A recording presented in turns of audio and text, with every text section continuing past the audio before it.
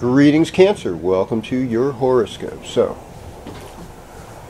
now Virgo time for Cancer is about the neighborhood. It's about the community. It's about your siblings. It's about your friends. It's about where you went to school, what kind of education you have. It's where you're courageous or at least curious.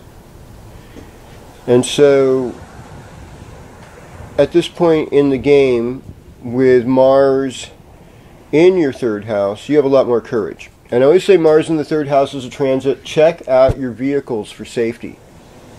Because oftentimes or not, they have a breakdown during this period. And I could see why, because it's like the fourth house is a really good house, they say, for buying vehicles and stuff.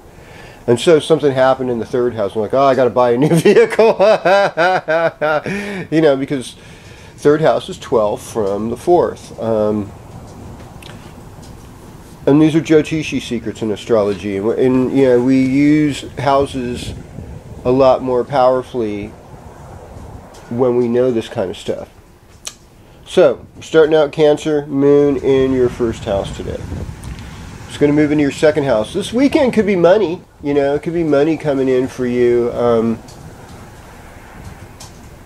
Jupiter's still in your fourth house, so loving your parents, loving your family, still really big theme. Um, I'd say the the new moon will allow you to kind of get really deep into your own personal life, your own personal history, and what the foundation of your feelings are.